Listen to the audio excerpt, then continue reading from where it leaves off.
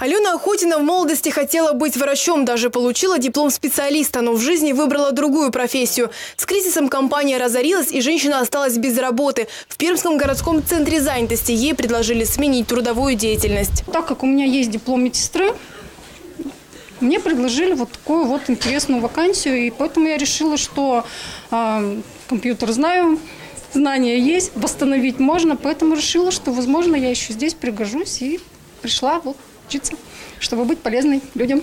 Все как в годы учебы в мединституте. Длинные занятия каждый день и практические работы. Отличие, пожалуй, в том, что преподаватель на все дисциплины один, да и курс намного короче. Здесь главная цель – восстановить знания и выпустить уже готового специалиста. Такие интенсивные занятия будут проходить около полутора месяцев. Далее экзаменационные испытания, по результатам которых учащимся вручат диплом о профессиональной переподготовке и сертификат специалиста. Уже с этими документами будущие медицинские работники смогут заняться любимым делом. Вопросы трудоустройства решают в Перми на самом высоком уровне. Буквально на днях состоялось заседание трехсторонней комиссии по социально-трудовым отношениям, где власти, профсоюзы и работодатели обсудили ряд насущих вопросов. Один из них – это программа переподготовки и дополнительного образования. Эти программы, они действительно носят очень важную такую вот нагрузку. Почему? Женщина, находясь в отпуске за три года, все равно так или иначе теряет свою компетенцию.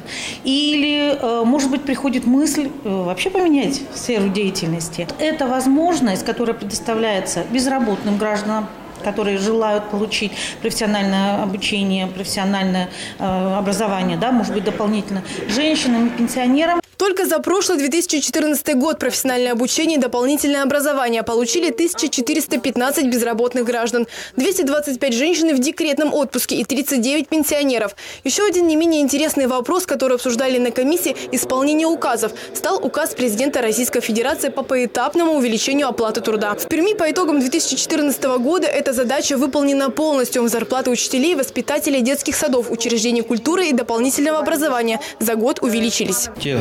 Значит, параметры, которые сегодня, ну я знаю, материал уже просмотрел, нас могут точно, только порадовать, потому что сегодня даже опережающими э, значит, темпами идет рост заработной платы.